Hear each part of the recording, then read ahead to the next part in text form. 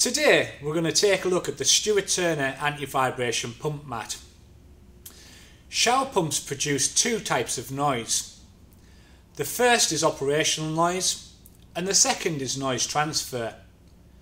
To lower both of these, the mat uses a clever two-part design. The top part is a high density corrugated rubber. This reduces the amount of area the pump is in contact with and improves sound insulation. The second part is a closed cell foam, which dampens vibrations from the motor and further reduces shower pump noise. It's important when installing your shower pump that pipework is secure and supported. This will help to lower vibrations that can be transferred throughout the pipes around your home.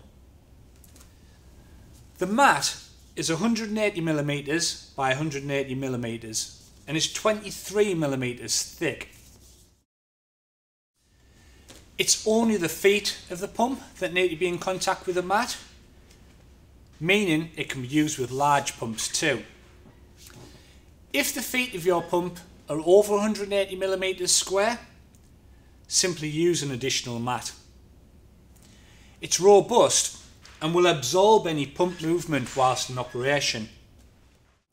It's suitable for use not just with Stuart Turner, but a wide range of pumps from Salamander Grundfos, Triton and many more.